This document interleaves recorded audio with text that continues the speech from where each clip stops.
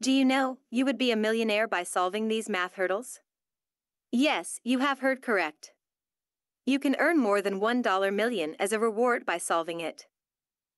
In the 2000, the Clay Mathematics Institute of Cambridge announced a reward of $1 million for solution of seven problems. Out of all, most popular one is Riemann hypothesis that can predict precisely about the distribution of prime numbers. Next is Navier-Stokes equation. It is nonlinear differential equation.